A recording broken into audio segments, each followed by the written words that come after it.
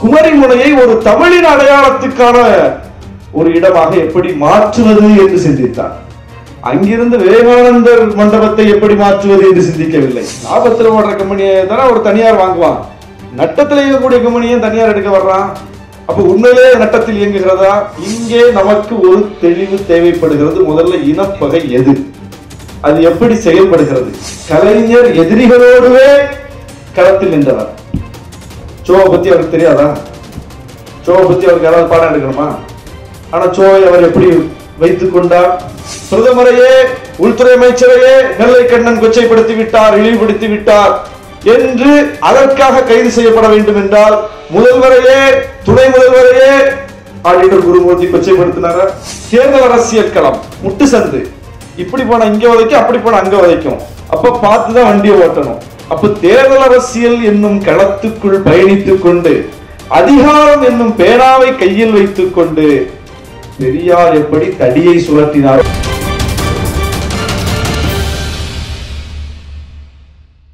ஒரு அமைப்பின் தேவை அதுவும் இளைஞர்களால் முன்னெடுக்கப்படுகிற அமைப்புகளுக்கான தேவை. இது போன்ற பொருளில் பேச வேண்டிய தேவை ஏன் இருக்கிறது என்பதை அதன் மூலம்தான் நம்மாலும் புரிந்து கொள்ள முடிந்தது. அந்த அளவுக்கு அந்த பேச்சுக்களுக்கு ஒரு வீச்சு இருந்தது. அந்த அடிப்படையில் இப்படி ஒரு கருத்தரங்கத்தை இந்த புத்தாண்டில் ஒருங்கிணைத்து பேச வர வேண்டும் என்று சொன்னபோது என்ன தலைப்பில் பேச வேண்டும் என்று கேட்டபோது நீங்களே ஒரு தலைப்பை சொல்லுங்கள் என்று கார்த்திகேயன் சொன்னார். அந்த நேரம்தான் நம்முடைய தமிழறிஞர் ஐயா நெல்லைக்கண்ணன் கைது செய்யப்பட்ட நேரம். எனக்கு மிகுந்த மனவலியை ஏற்படுத்திய மன அழுத்தத்தை ஏற்படுத்திய கோபத்தை ஏற்படுத்திய ஒரு கைது என்றால் அது நெல்லைக்கண்ணன் அவர்களுடைய கைது. அந்த ஒரு மன உளைச்சலில் இருக்கும்போது கார்த்திகேயனும் அழைத்தார் நீங்கள் பேச வர வேண்டும் என்று சொன்னார். அப்போதுதான் இந்த தலைப்பை நான் சொன்னேன். இனப்பகையும் இன்றைய நம் நிலையும் என்று சொன்னேன். நெல்லைக்கண்ணன் அவர்கள் திராவிட இயக்கத்தை சார்ந்தவர் அல்ல. நெல்லைக்கண்ணன் அவர்கள் நம்மை போல ஒரு தீவிர பெரியாரிஸ்டா என்றால் அல்ல.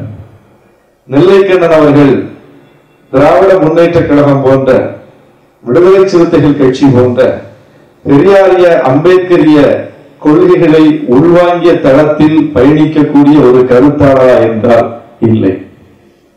ஆனால் நெல்லைக்கண்ணன் கைது செய்யப்பட்டது ஏன் எனக்கு இரத்த குதிப்பை ஏற்படுத்தியது என்று நான் யோசித்து பார்க்கிறேன். இனப்பகை எது என்பதை என்னால் புரிந்து கொள்ள முடிந்தது. அதனால் அது எனக்கு குறிப்பை ஏற்படுத்தியது.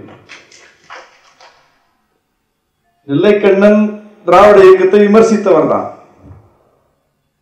நெல்லைக்கண்ணன் கடுமையான விமர்சனங்களை வைத்தவர் தான். இன்னும் கூட வைப்பார் தான். அது ஒரு நட்பு முரண் என்றுதான் நாம் பார்க்க வேண்டும். ஆனால் பகை முரணா என்றால் இல்லை. இனப்பகையை பற்றிய தெளிவு முதலில் நமக்கு வேண்டும். எது இனப்பகை?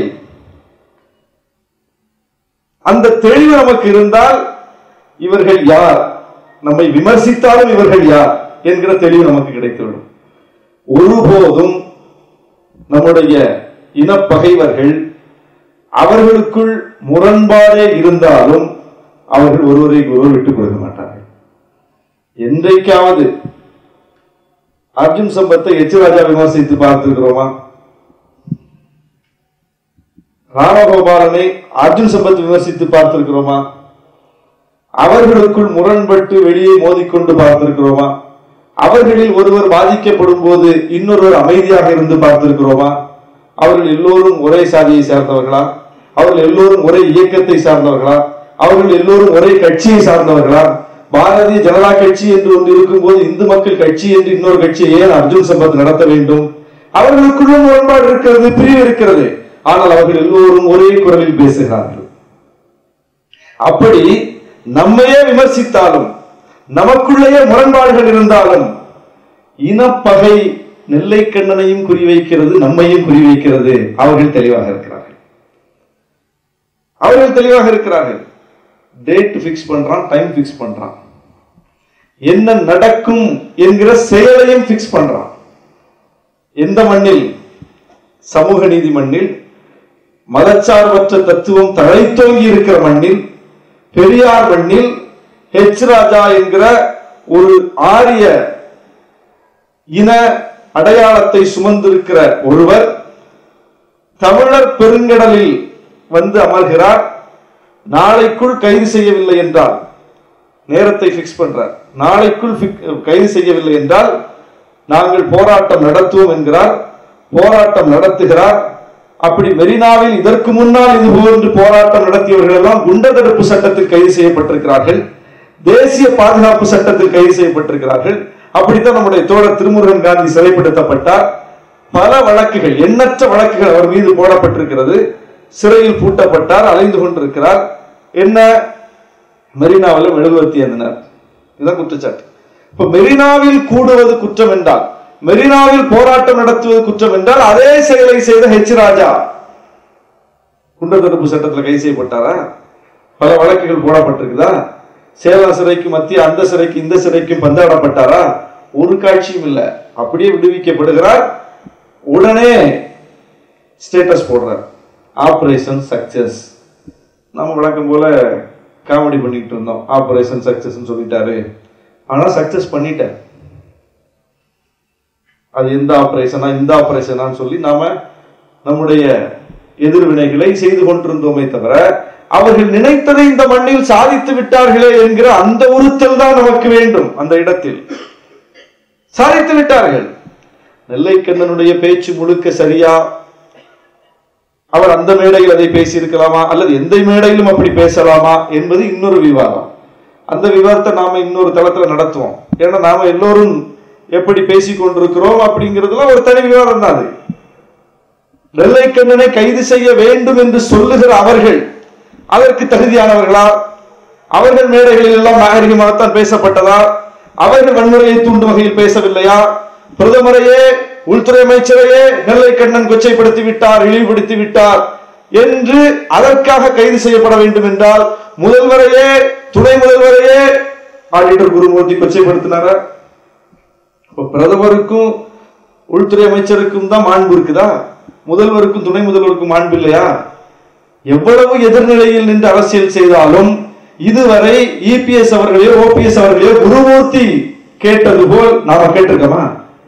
கேட்டதில்லை. எதிர்க்கட்சி நாம எதிர்நிலையில் நின்று பயணிக்கிறோம். ஆனால் குருமூர்த்தி அவமரியாதை செய்வது போல் யாரும் செய்ததில்லை திமுக செய்ததில்லை விசிக செய்ததில்லை குருமூர்த்தி செய்கிறார். உடனே பெரிய விமர்சனங்கள் எழுது.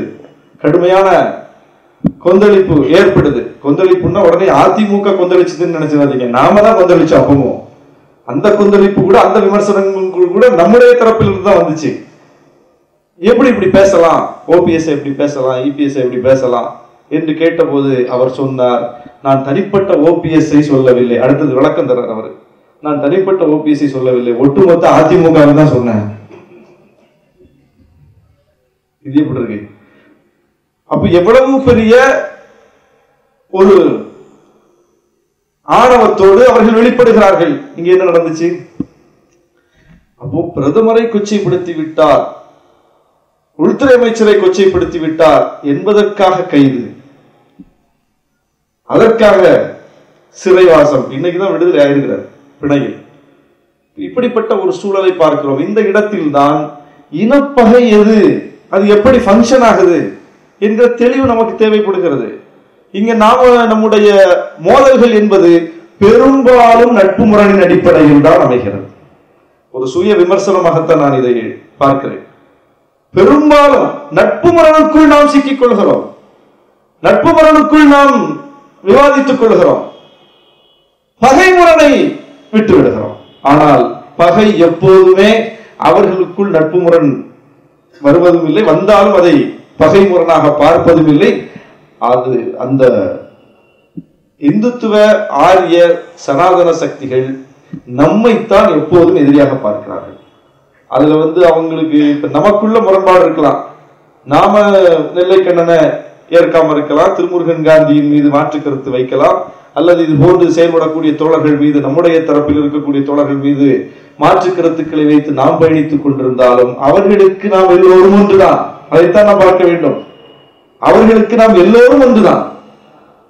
அவர்கள் அப்படி பிரித்து பார்ப்பதில்லை. எனவே இங்கே நமக்கு ஒரு தெளிவு தேவைப்படுகிறது. முதல்ல இனப்பகை எது? அது எப்படி செயல்படுகிறது? அது எப்படி வெற்றி பெற்றிருக்கிறது? வெற்றி பெற்ற பிறகு என்ன செய்து கொண்டிருக்கிறது? இந்த ஃபார்முலாவை தெரிஞ்சுக்கிட்டாதான் நாம எந்த இடத்தில் நிற்கிறோம் என்கிற தெளிவு முதல்ல நாம நமக்கு கிடைக்கும். சிவா சொன்னார் இன்றைக்கு இது போன்ற அமைப்புகள் திராவிட சிறைகள் போன்ற அமைப்புகள் ஏற்படுத்தப்பட்டு அது எவ்வளவு வீச்சோடு செயல்பட தொடங்கி இருக்கிறது என்று சொன்னார்.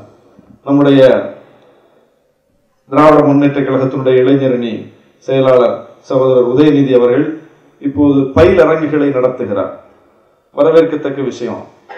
ஜேஎன்இ பல்கலைக்கழகத்தில் கூட திராவிட முன்னேற்ற கழகத்திற்கான மாணவர் அமைப்புகள் ஒருங்கிணைக்கப்பட்டிருக்கிற செய்திகள் வந்திருக்கிறது. பன்னாட்டு அமைப்புகள் திமுகவுக்கான பன்னாட்டு அமைப்பு அங்கீகரிக்கப்பட்டிருக்கிற செய்திகள்லாம் வந்திருக்குது. மிக மிக மிக காலதாமதமான முடிவுகள். வரவேற்கத்தக்க முடிவு. ஆனால் இது விரைவான முடிவா என்றால் நாம் விரைவான முடிவுன்னு சொல்ல முடியாது. சிவா வாஷிங்டன்ல இருக்கிறார் அமெரிக்கால இருக்கிறார். அமெரிக்காவினுடைய ஐம்பது மாகாணத்திலும் ஆர்எஸ்எஸ் கிளை உண்டா இல்லையா? கனடாவில் உண்டா இல்லையா? அங்கே சாகா பயிற்சி எடுக்கிறார்களா இல்லையா? அங்கே அவர்களுக்கான அனைத்து வித செயல்பாடுகளும் உண்டா இல்லையா? அவர்கள் நேரடியாக அமைப்பை வைத்திருக்கிறார்கள் ஒன்று தமிழ் சங்கத்திலும் அவர்கள் தான் இருக்கிறார்கள். நேரடியாக அவர்களின் பெயரிலும் அமைப்பு இருக்கிறது. தமிழ்ச்சங்கம் என்கிற பொதுவான அமைப்பு இருக்கிறது அல்லவா? அந்த அமைப்பிலும் அவர்கள் தான் இருக்கிறார்கள். ஆனால் இங்க தமிழுக்கு தொண்டாட்டி இருப்பது யார்? தமிழுக்கு மிகப்பெரிய பங்களிப்பை செய்திருப்பது யார்? சிவா வருத்தப்பட்டு சொன்னார் கலைஞர் எவ்வளவு செய்திருக்கிறார்? என்று சொன்னார். செய்திருக்கிறார். செய்திருக்கிறார் என்பது இளைய தலைமுறைக்கு தெரிய வேண்டுமே. அப்படி தெரிந்தால் இன்றைக்கு கலைஞரையே கொச்சைப்படுத்துகிற ஆவேச உரையாளர்கள் பின்னால் இந்த இளைஞர்கள் போவார்களா? அப்ப அவனுக்கு அது போய் சேரலன்னு அர்த்தம். இப்ப சேரலைன்னா ஏன் சேராம போச்சு? இப்படி ஹெட்கேவாரின் தத்துவங்கள் போய் சேரவில்லை என்று ஒரு ஆர்எஸ்எஸ் காரன் வருத்தப்படுகிறானா? கோல்வால்கரின் கருத்துக்கள் போய் சேரவில்லை என்று ஒரு பாஜக காரன் வேதனைப்படுகிறானா? சாவர்கரின் கருத்துக்கள் இன்னும் போய் சென்று சேரவில்லை. நாம் தொய்வில் இருக்கிறோம் என்கிற பரிசீலனையில் இருக்கிறானா? இல்லை. அவன் அதிகாரத்தில் அமர்ந்து நூறு ஆண்டுகளை கொண்டாடப் போகிற இடத்தில் இருக்கிறான். அவன் ஆட்சி அதிகாரத்திற்கு வருவதே தன்னுடைய கொள்கைகளை நடைமுறைப்படுத்துவதற்கும் நடைமுறைப்படுத்துவதோடு நின்று விடாமல் அடுத்த தலைமுறையை அதில் கமிட் பண்றது. ரொம்ப தெளிவா இனப்பகை ரொம்ப தெளிவா செயல்படுது. ஆட்சி அதிகாரம் வந்துருச்சு. இப்ப கூட நாடாளுமன்றத்தில் நம்முடைய மருத்துவர் இருக்கிறார். இந்த குடியுரிமை திருத்த சட்டம் வரும்போது அமித்ஷா பேசக்கூடிய அந்த உடல் மொழி எவ்வளவு ஆவேசமா அவர் பேசுறாருங்கிறத அவர் நேரடியாக கண்ணால பார்த்துட்டு வர்றாரு. இவரெல்லாம் சேர்ந்து அதை எதிர்க்கும் போது எல்லோரும் சேர்ந்ததற்கு தமிழ்நாட்டை சார்ந்த நாடாளுமன்ற உறுப்பினர்கள் எங்கள் தலைவரை போன்றவர்கள் நம்முடைய நாடாளுமன்ற உறுப்பினர்கள் எல்லோரும் சேர்ந்ததற்கு எதிர்ப்பு தெரிவிக்கும் போது அமித்ஷா என்ன சொன்னார்? நாங்க என்ன இந்த மாதிரி சட்டங்களை ஏற்றிட்டு போறதுக்கும் ஆட்சி அதிகாரம் செய்யறதுக்கும் வந்திருக்கிறோம் நினைச்சீங்களா? இன்னும் நாலரை வருஷம் இருக்கு. ஆறு மாசம் தான் ஆயிருக்குது இப்ப தானே ட்ரையல் பாக்குறீங்க இன்னும் கிளைமேக்ஸ் நிறைய இருக்கு.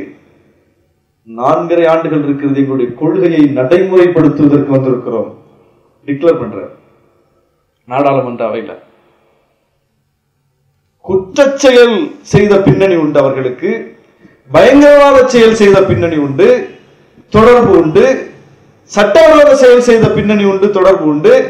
பல விஷயங்கள் அதில் நிரூபிக்கப்பட்டிருக்கிறது. அதன் பிறகும் யாரை நாம் சட்டவிரோத செயல் செய்தோம் என்று சொல்லுகிறோமோ சட்டம் சொல்லுகிறதோ அவர்களை அவர்கள் நாடாளுமன்றத்தில் வைத்து அழகு பார்ப்பார்கள். யார் இந்த வரலாற்றில் இந்த தேசத்திற்கு எதிரானவராக வரலாறு சொல்லுகிறதோ அவர்களை அதே நாடாளுமன்றத்தில் படமாக வைப்பார்கள். அவர்களுக்கு பாரத ரத்னா விருது கொடுப்பார்கள். அவர்களின் பெயரால் நினைவு இடங்களை ஏற்படுத்துவார்கள். பார்க்கிறோம். சாவர்கர் யார்? வரலாற்றில் அவர் எப்படிப்பட்டவர் ஆனால் அதே சாவர்கர் அதே காந்திக்கு பக்கத்தில் நாடாளுமன்றத்தில் நிறுத்தப்படுகிறாரே. இப்படிப்பட்ட காட்சிகளை பார்க்கிறோம். இந்த உண்மையை இந்த அடிப்படையை புரிந்து கொண்டவர் தலைவர் கலைஞர். இந்த அடிப்படையை புரிந்து கொண்டவர் தலைவர் கலைஞர். அதனால தான் நீங்க பார்க்கணும் பெரியாருடைய காலம் என்பது எழுபத்தி நான்கிலேயே பெரியார் மறைந்துட்டார். எழுபத்தி நான்கிலே மறைந்துட்டார். இப்ப என்ன ஆண்டு?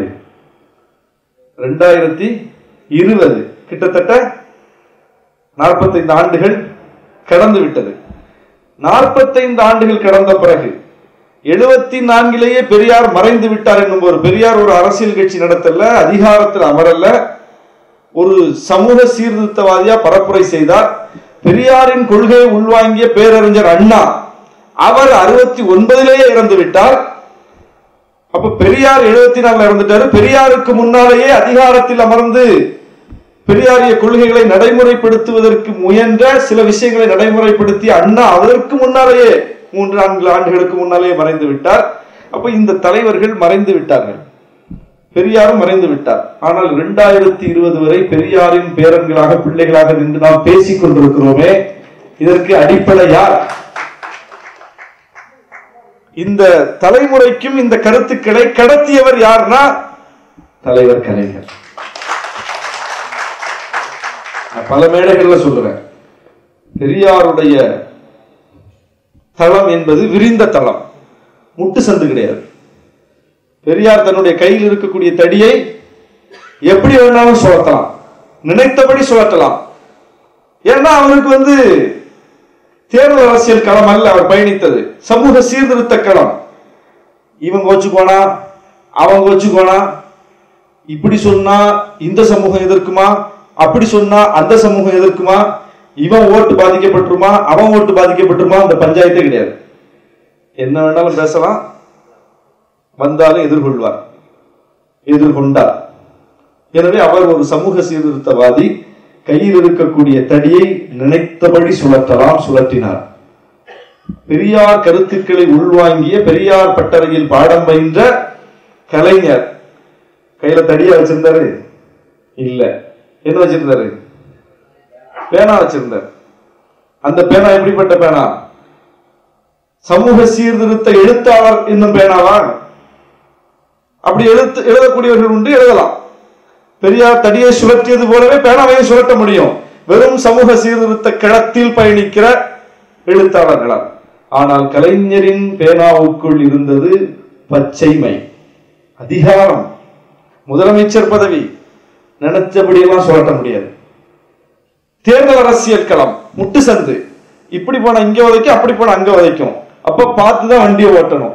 அப்ப தேர்தல் அரசியல் என்னும் களத்துக்குள் பயணித்துக் கொண்டு அதிகாரம் என்னும் பேனாவை கையில் வைத்துக் கொண்டு பெரியார் எப்படி தடியை சுழற்றினாரோ அப்படி சுழற்றியவர் கலைஞர். அதனால தான் இந்த கருத்தியல் அவருடைய நீண்ட ஆயுளின் பயனாய் தொண்ணூத்தி ஐந்து ஆண்டுகள் அவர் வாழ்ந்ததின் பயனாய் அதுவும் ரொம்ப ஆக்டிவா வாழ்ந்ததின் பயனாய். நடைபெணமா வாழல. கடைசி வரை ஆக்டிவாக செயல் ஊக்கத்தோடு அவர் வாழ்ந்ததினுடைய விளைவாக ஒவ்வொன்றிலும் ஒரு போராளியாக வெளிப்பட்டு கொண்டே இருந்தார். இந்த ஓட்டு பாதிக்குமா? அந்த ஓட்டு பாதிக்குமா? பார்க்கவே இல்லை. தன்னுடைய கருத்து எதுவோ அதை வச்சார். வள்ளுவருக்கு பூணூல் போட்டுக்கொண்டு நிறுத்தப்பட்ட போது பிடித்து இழுத்து என்னையான்னு கேட்டார்ல? அந்த படம் பார்த்துருக்கீங்களா? அந்த அந்த போட்டோவை இது என்ன என்று கேட்டார் அல்லவா? வள்ளுவருக்கு சிலை வைத்தார் அல்லவா? எங்கே வைத்தார் என்பதற்கு பின்னாலேயே நுட்பமான அரசியல் இருக்கிறது. பெரியார் கலைஞர் எந்த அளவுக்கு பெரியார் கருத்துக்களை உள்வாங்கியவர் எந்த அளவுக்கு இனப்பகையை தெளிவாக உணர்ந்தவர் என்பதை வந்து நீங்க வேற சான்றுகளை தேடி போக வேண்டாம். குமரி முனையில் வள்ளுவருக்கு வானுயர் அவர் சிலை வடித்த ஒன்றே நமக்கு பெரிய பாடமாக இருக்கிறது. கன்னியாகுமரி என்பது முக்கடலும் சங்கமிக்கக்கூடிய ஒரு இடம். ஒரு மிக முக்கியமான சுற்றுலா தலம். உலகம் முழுவதும் இருந்து சுற்றுலா பயணிகள் வந்து குழுமக்கூடிய இடம். ஒரு முக்கியமான இடம். அந்த குமரி முறையின் அடையாளமாக விவேகானந்தர் பாறை அவர் வந்து தியானம் செய்தார் என்கிற அடிப்படையில் அவருக்கு ஒரு நினைவு மண்டபம் எழுப்பப்பட்டிருக்கிறது. அந்த மண்டபத்தை எழுப்புவதற்கும் அங்கே ஒரு காவி கொடி பறப்பதற்குமான கட்டுமானத்தை செய்தது ஏற்பாட்டை செய்ததெல்லாம் யார்? அதற்கு பின்னால் ஆர்எஸ்எஸ் உடைய முழு தீவிரமான செயல்பாடு இருக்கிறது. இதை கலைஞர் பார்த்துக்கிட்டே இருக்கிறார். குமரி முனை நம்முடைய தமிழ்நாடு குமரி முனையில் பாறையில் சுற்றுலா பயணிகள் வந்து குழுமக்கூடிய இடத்தில் உலக பயணிகள் வந்து குழுமக்கூடிய இடத்தில் தமிழ் இன அடையாளம். ஒன்று இல்லையே என்கிற உறுத்தல் அவருக்கு இருந்திருக்கிறது. இப்போ விவேகானந்தர் பாறையை போய் ஆட்சதிகாரத்தை பயன்படுத்தி டிஸ்டர்ப் பண்ணாலோ அல்லது அப்படி ஒரு மண்டபம் அங்கே அமைய விடாமல் தடுத்தாலோ அது சரியாக இருக்காது. அதை கலைஞர் செய்யவில்லை. நம்முடைய மரபு அப்படிப்பட்டதில் நாம் செய்யவும் மாட்டோம். விவேகானந்தர் மீதும் நமக்கு மரியாதை உண்டு. விவேகானந்தருக்குமான இடத்தையும் வள்ளுவருக்கு கொடுப்பதற்கு முன்னாலேயே கொடுத்த இடம் தமிழ்நாடு.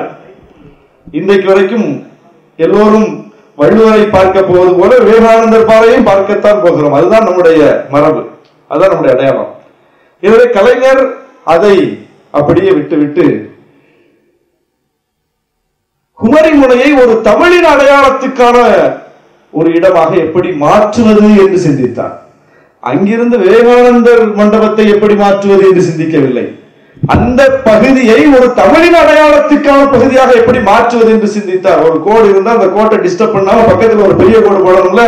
அந்த உத்தி தான். அந்த உத்தியை கடைபிடித்து பக்கத்தில் ஒரு வானுயர சிலையை நிறுவினார்.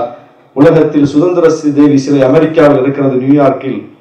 பல சிலைகள் இப்படி இருக்கிறது. உலகம் உற்று நோக்கக்கூடிய சிலைகள். இப்ப ஒரு பட்டேல் சிலை ஒண்ணு வச்சிருக்காரு அது அந்த அளவுக்கு பேசப்படல. அது காமெடியா தான் போச்சு. அது மாதிரி இல்லாம ஒரு வரலாற்று முக்கியத்துவம் வாய்ந்த சிலையை வானுயர வள்ளுவனுக்கு சிலையை குமரிமுனையில் கலைஞர் நிறுவியதன் மூலம் இப்போது அங்கே எது பேசப்படுகிறது பார்க்கப்படுகிறது என்றால் வள்ளுவர் தான் பார்க்கப்படுகிறார் பேசப்படுகிறார். ஒரு பண்பாட்டு தாக்கத்தை கலைஞர் ஏற்படுத்தி இருக்கிறார். இப்போ இனப்பகையை எப்படி புரிந்து கொண்டிருந்தால் இந்த சிந்தனை வரும்? கலைஞருக்கு அந்த தெளிவு இருந்தது. கலைஞரிடமிருந்து நாம் கற்றுக்கொள்ள வேண்டும் பல விஷயங்களை. இப்போ பெரியார் செய்த விஷயங்களை பேசிய விஷயங்களை நமக்கு கடத்திவிட்டு போனவர் கலைஞர். அதை இன்னைக்கு நாம கட்டி காக்க வேண்டிய இடத்தில் இருக்கிறோம். நாம எந்த இயக்கமாக இருந்தாலும் சரி எந்த கட்சியாக இருந்தாலும் சரி எந்த அமைப்பாக இருந்தாலும் சரி அல்லது அமைப்பே இல்லாமல் தன்னார்வலராக ஒரு எழுத்தாளராக ஒரு பேச்சாளராக இயங்கிக் கொண்டிருந்தாலும் சரி எல்லோரும் சேர்ந்து ஒரு தளத்தில் பயணிக்க வேண்டிய இடத்தில் இருக்கிறோம். இனப்பகைவர்கள் அப்படித்தான் பயணிக்கிறார்கள். அப்படித்தான் பயணிக்கிறார்கள். இன்னைக்கு வந்து நீங்க அதிகமாக கருத்து பரப்பக்கூடிய இடமாக மாறி இருப்பது தொலைக்காட்சி விவாதங்கள். தொலைக்காட்சி விவாதங்களை உற்று கவனிங்க.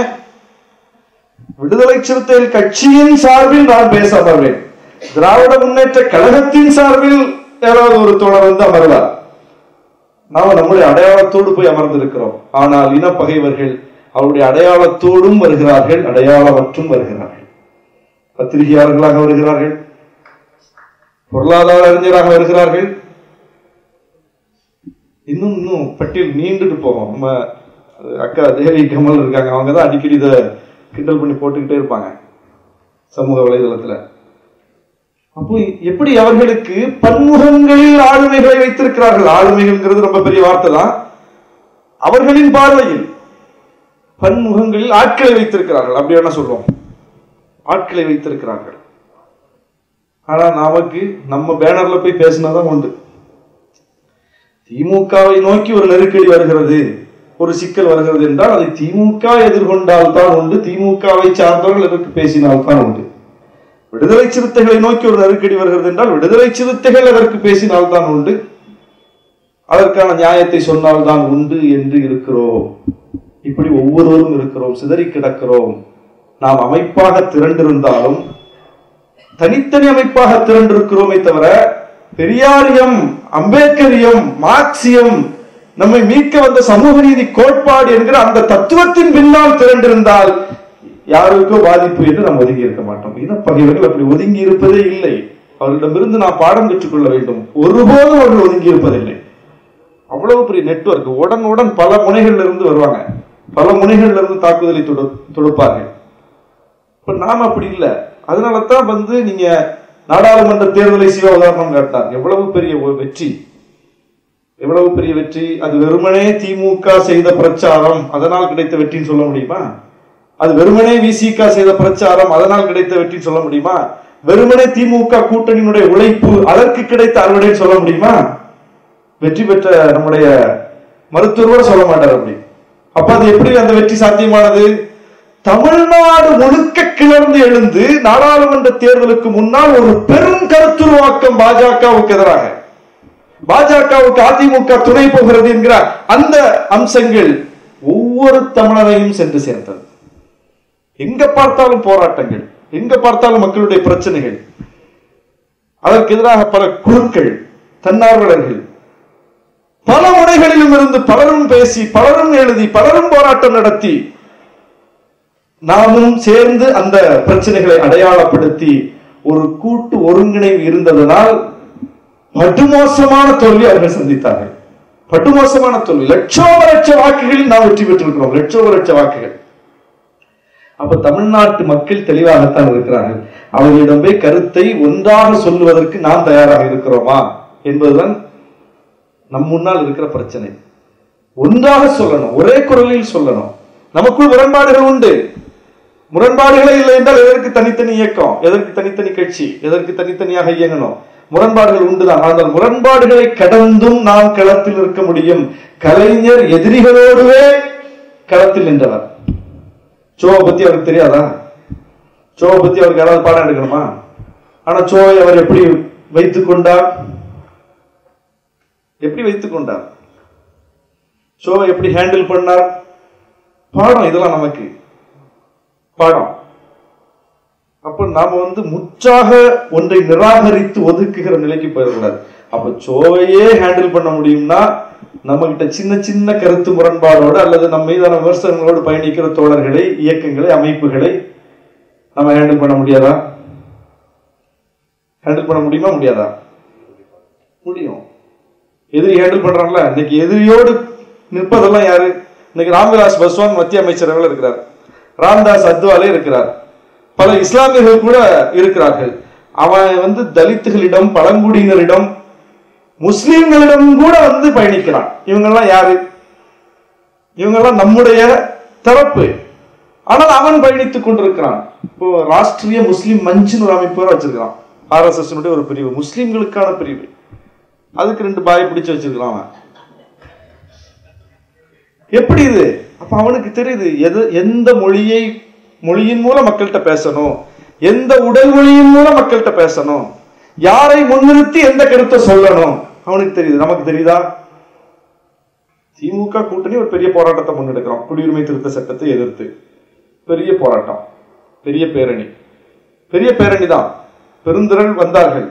ஆனால் அதற்கு பிறகு பார்த்தால் அந்த பாதிப்பை நேரடியாக உணரக்கூடிய சமூக சமூகமாக இருக்கிற முஸ்லிம்கள் அன்றாடம் போராடி கொண்டிருக்கிறார்கள். பெரும் பெரும் கூட்டம் கூடுகிறது. இப்ப அவன் மோடி என்ன சொல்றாரு அமித்ஷா என்ன சொல்றாருன்னா இது வெறும் முஸ்லிம்கள் நடத்தக்கூடிய போராட்டம் தான். மற்றவர்கள் எல்லோரும் இதை ஆதரிக்கிறார்கள் அப்படின்னு அவங்களுடைய அரசியலை தெளிவா சொல்றாங்க. எதிர் எவ்வளவு தெளிவாக இருக்கிறார்கள் பாருங்கள். இனப்பகைவர்கள் தெளிவாக இருக்கிறார்கள். அவர்கள் நாட்டு மக்களுக்கு என்ன சொல்ல வருகிறார்கள்? இந்த சட்டத்தை எதிர்ப்பது இந்துக்கள் அல்ல. இந்த சட்டத்தை எதிர்ப்பது முஸ்லிம்கள் தான் அப்படிங்கிற கருத்தை அவங்க நிறுவ நினைக்கிறாங்க. களம் என்ன சொல்லுகிறது? களமும் அதை உண்மைப்படுத்துவது போல முஸ்லிம்களுடைய பெருந்திரள் நடந்து கொண்டிருக்கிறது. இப்போ இந்த பெரும் பெரும் கூட்டத்தை கூட்டி காட்டக்கூடிய வலிமை உள்ள முஸ்லிம் அமைப்புகள் திமுக நடத்திய அந்த பெருந்திரள் பேரணியில் வந்து பங்கேற்றிருந்தால் அந்த பேரணி ஏற்கனவே லட்சோப லட்சம் பேர் வந்த பேரணி பல லட்சம் பேராக மாறி இருக்கும் அவங்களுக்கு சேர்த்துதான் அந்த குரல். அப்போ இனப்பகைவர்களுக்கு தெளிவா தெரியுது. அவன் பிரச்சாரத்தை தெளிவா கொண்டு போறான். அதை பாதிக்கப்படக்கூடிய இடத்தில் இருக்கக்கூடிய நமக்கு அந்த தெளிவு இருக்கிறதா? தெளிவு இருந்தா என்ன செஞ்சிருப்போம்? ஒன்று சேர்ந்து களத்தில் ஒற்றுமையை வெளிப்படுத்தி இருப்போம் அப்ப அந்த தெளிவு இன்னும் வரல. இந்த அரசியல் இன்னும் நமக்கு போய் சேரல கிரவுண்டுக்கு எந்த தலைமையின் பின்னால் நிற்க வேண்டும்? எந்த கருத்தியலின் பின்னால் நிற்க வேண்டும்? எந்த அரசியலின் பின்னால் நிற்க வேண்டும் என்கிற தெளிவு நமக்கு ஊட்டப்படவில்லை. அப்போ பாதிக்கப்படுகிற சமூகங்களுக்கே ஊட்டப்படவில்லை என்றால் பாதிப்பை உணராத சமூகங்களுக்கு எப்படி போய் சேர் சேர்க்க முடியுத? இப்போ எவ்வளவு பெரிய சிக்கல் நம்மை நோக்கி இருக்கிறது? அப்போ பெரிய அளவில் வேலை செய்ய வேண்டிய இடத்தில் நாம் இருக்கிறோம். அவர்கள் பொது முழக்கத்தோடு வருகிறார்கள். அவர்கள் ஒருபோதும் அமெரிக்காவிலேயே போய் அமைப்பு கட்டினாலும் பிராமணர் சங்கம் என்று கட்டுவதில்லை. தமிழ் சங்கம் என்று கட்டுகிறார்கள். பாஜகவை பிராமணர்களுக்கான கட்சி என்று சொல்வதில்லை. இந்துக்களுக்கான கட்சி என்று சொல்லுகிறார்கள். அப்ப இந்து என்று சொல்லும் போது அது ஒரு பெரும்பான்மை வாதம் பெரும்பான்மை வாதத்தின் அடிப்படையில் மக்களை திரட்டுகிறார்கள். ரொம்ப குறி வைத்து செய்கிறார்கள். பாஜகவினுடைய கொள்கைகளை எதிர்க்கக்கூடியவர்களை அத்தனை பேரையும் இந்துக்களை எதிர்க்கக்கூடியவர்களாக சித்தரிக்கிறார்கள். அவர்கள் இந்துக்களின் காவலர்கள். நாம் யார்? நம்முடைய கட்சிகளுக்கு பேர் என்ன? இந்துக்களின் எதிரிகள். இந்த அரசியலை ரொம்ப திட்டமிட்டு பாஜக செய்கிறது ஆர்எஸ்எஸ் செய்கிறது. இன பகைவர்கள் மிக தெளிவாக அந்த அரசியலை முன்னெடுக்கிறார்கள். அப்ப நாம இந்த அரசியலை உள்வாங்கிக் கொண்டுதான் வெளிப்பட வேண்டும். எல்லாவற்றிலும். வெளிப்படுகிறோமா?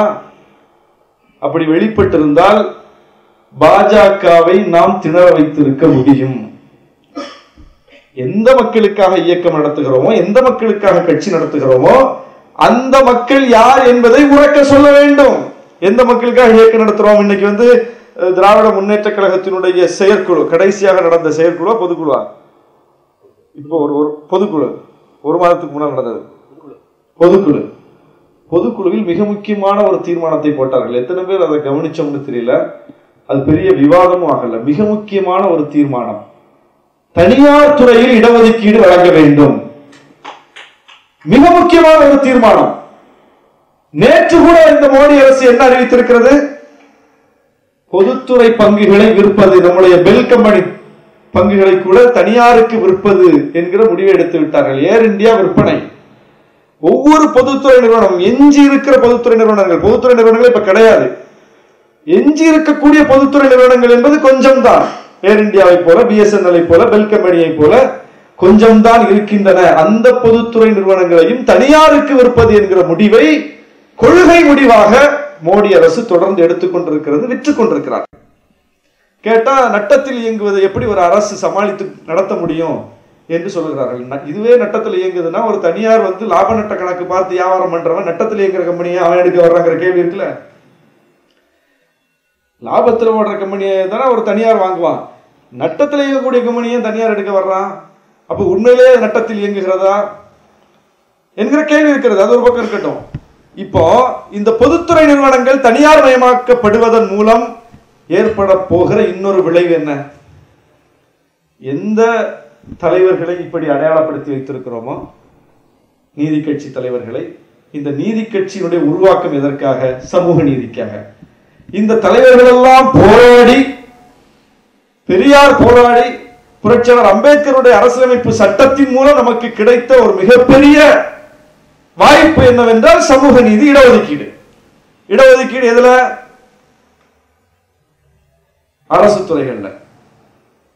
அந்த அரசு துறைகளில் பொதுத்துறைகளில் பொதுத்துறை ஒன்று இருப்பதனால்தான் அரசு துறைகள் என்று இருப்பதனால்தான் அங்க போய் கல்வியில வேலை வாய்ப்பிலும் இடஒதுக்கீடு பெற்று இன்றைக்கு கிட்டத்தட்ட தமிழ்நாட்டில் 69 ஒன்பது விழுக்காடு இடஒதுக்கீடை நாம் அனுபவித்துக் கொண்டிருக்கிறோம். இப்ப இந்த அரசு துறைகளே இல்லை என்று வைத்துக் கொள்ளுங்கள். முற்றாக ஒழிக்கப்பட்டு விட்டது என்றால் என்னவாகும்? இந்த நூறாண்டு கால போராட்டம் அர்த்தமற்றதாக போய்விடும். இன்றைக்கு நாம் அனுபவித்துக் கொண்டிருக்கக்கூடிய இந்த அறுபத்தி ஒன்பது விழுக்காடு இடஒதுக்கீடு செல்லா காசாயிடும். அப்ப இந்த ஆபத்தை உணர்ந்துதான் அடுத்து என்ன? சமூக நீதிக்கான அடுத்த போராட்டம் என்பது என்ன? இடஒதுக்கீட்டினுடைய வரம்பை உயர்த்துகிற போராட்டம் அல்ல அறுபத்தி ஒன்பது எழுபத்தி ஒன்பது ஆக்குறது அல்ல போராட்டம். என்ன இருந்தா தானே அரசு துறையே காலி ஆயிடுச்சுன்னா இடஒதுக்கீடு எங்க போய் கேட்கறது அரசு கல்வி நிறுவனங்கள் ஒன்று இருக்கணும் அரசு வேலை வாய்ப்புன்னு இருந்தால் தான் அவங்க இடஒதுக்கீடை பத்தி பேச முடியும். அந்த இடஒதுக்கீடே காலி பண்ணிட்டு எல்லாத்தையும் தனியார் மயமாக்கிட்டா அறுபத்தி ஒன்பதாயிரம் இருந்தா என்ன நூறா இருந்தா என்ன வச்சுக்கிட்டு பேப்பர்ல நக்கிக்கிட்டு இருக்க வேண்டியதான் ஒன்றும் யூஸ் இல்லை ஒரு பயனும் இல்லை. அப்போ சமூக நீதியினுடைய அடுத்த கட்டம் என்னவென்றால் தனியார் மயமாகி கொண்டிருக்கிற காலத்தில் தனியார் துறையில் இடஒதுக்கீடு குழு என்று கேட்பதுதான். அதுதான் திமுக பொதுக்குழு தீர்மானமா எடுத்திருக்கிறாங்க. இந்த தீர்மானம் என்பது யாருக்கான தீர்மானம்? இந்த தீர்மானம் என்பது யாருக்கான தீர்மானம்? தனியார் துறையில் இடஒதுக்கீடு வந்தால் நம்முடைய கோரிக்கைப்படி நம்முடைய தீர்மானத்தின்படி அப்படி ஒரு சட்டம் நடைமுறைப்படுத்தப்பட்டால் அதனால் பயன்பெறப் போகிறவர் யார்? பிற்படுத்தப்பட்டவர்கள் தாழ்த்தப்பட்டவர்கள் பழங்குடியினர். பிற்படுத்தப்பட்டவர் யார்? தாழ்த்தப்பட்டவர் யார்? பழங்குடியினர் யார்? இவன் சொல்ற இந்த இந்துக்கள் தானே? அப்ப இந்துக்களுக்காக இந்துக்கள் படிக்க வேண்டும் படித்து விட்டார்கள் இடஒதுக்கீட்டின்படி. வேலைக்கு போக வேண்டும் வேலைக்கு போய்விட்டார்கள் இடஒதுக்கீட்டின்படி. பிற்படுத்தப்பட்ட இந்துக்கள் தாழ்த்தப்பட்ட இந்துக்கள் பழங்குடியின இந்துக்கள். இப்ப அவர்கள் வேலை வாய்ப்பை கொஞ்சம் பெற்றிருக்கிறார்கள் படிக்க கொஞ்சம் வந்திருக்கிறார்கள் என்கிற நிலை இருக்கும் போது அரசு துறைகள் முற்றாக ஒழிக்கப்பட்டு தனியார் மயமாகிக் கொண்டிருக்கும் போது இவர்கள் இந்த வாய்ப்பை இனி அடுத்த கட்டத்தில் தனியார் துறையிலும் பெற வேண்டும் என்று அதை நோக்கி இந்த மக்களை நகர்த்துவதற்கு போராடக்கூடியவன் இந்துக்களின் ஆதரவாளனா? இப்படி ஒரு தீர்மானத்தை தனியார் துறை இடஒதுக்கீடு வேணுங்கிற தீர்மானத்தை ஆர்எஸ்எஸ் தன்னுடைய வரலாற்றில் போட்டிருக்குமா? பாஜக தன்னுடைய கூட்டங்களில் பேசியிருக்குமா? ஒரு வரி இதை பத்தி அவங்க வாயை விட்டுருப்பாங்களா வார்த்தையை விட்டுருப்பாங்களா? விட மாட்டாங்க அப்போ பாஜகவை இந்து மக்களாலேயே விரட்டி அடிக்கப்படக்கூடிய நிலைமையை நாம் ஏற்படுத்த முடியுமா முடியாதா? இந்த தனியார் துறை இடஒதுக்கீடு என்னும் முழக்கத்தை வெகு மக்கள் மயப்படுத்தினால் பிற்படுத்தப்பட்ட மக்களை தாழ்த்தப்பட்ட மக்களை பழங்குடியின மக்களை அதன்பால் அணிதிரட்டினால் பாஜகவை வந்து நம்ம வந்து அந்த மக்கள்கிட்ட அமலப்படுத்த முடியும். பேசவே மாட்டான். ஓட்டுக்காக கூட பேச மாட்டான். வேணா நீங்க கேட்டு ஒரு மாநாடை போடுங்க.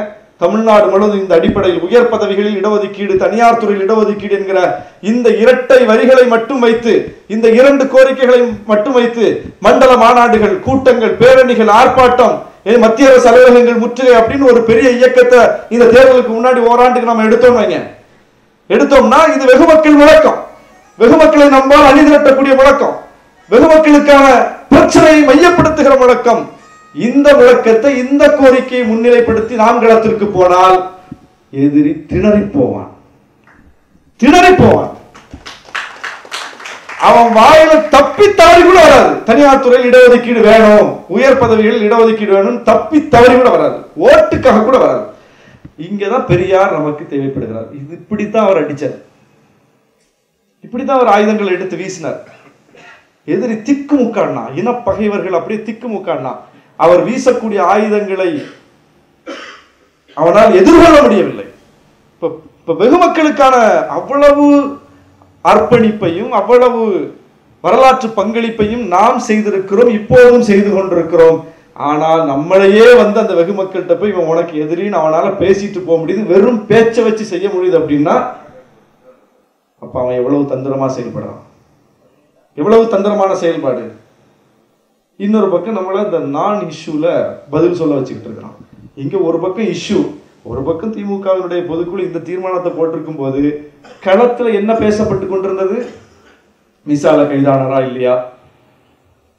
முரசு அலுவலகம் பஞ்சமி நிலமா இல்லையா? மூலப்பத்திரம் எங்க? கவனிச்சு பாருங்க. ஒரு பக்கம் என்ன தீர்மானம் இங்க போட்டிருக்குது?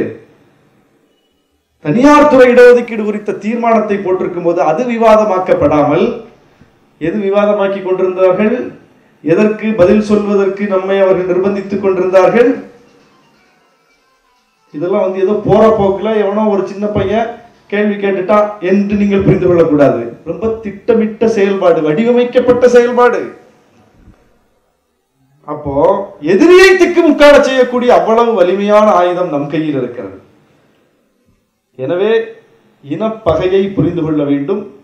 நம் நிலையையும் நாம் புரிந்து கொள்ள வேண்டும். இரண்டையும் பொருத்தி புரிந்து கொண்டால்தான் நாம் எந்த இடத்தில் இருக்கிறோம் அவர்கள் எந்த இடத்தில் இருக்கிறார்கள் நாம் என்ன ஆயுதத்தை எடுக்க வேண்டும் அவர்களை எப்படி திக்குமுக்காட செய்ய வேண்டும் என்கிற தெளிவு நமக்கு பிறக்கும். அந்த அடிப்படையில் அந்த கோணத்தில் பயணிப்போம் என்று சொல்லி இந்த வாய்ப்புக்கு நன்றி கூறி விடைபெறுகிறேன். நன்றி வணக்கம். நமது யூடியூப் தளத்தில் உள்ள வீடியோக்கள் அனைத்தும் கிரியேட்டிவ் காமன் என்கிற விதிப்படி பதிவேற்றம் செய்யப்பட்டவை. இதை நீங்கள் தரவிறக்கம் செய்து உங்கள் தேவைக்கு பயன்படுத்திக் கொள்ளலாம். அதற்கு காப்புரிமை அதாவது காப்பிரைட் தேவையில்லை. பாருங்கள் பகிருங்கள் பகுத்தறிவு ஒளியை பரவ செய்யுங்கள். நன்றி.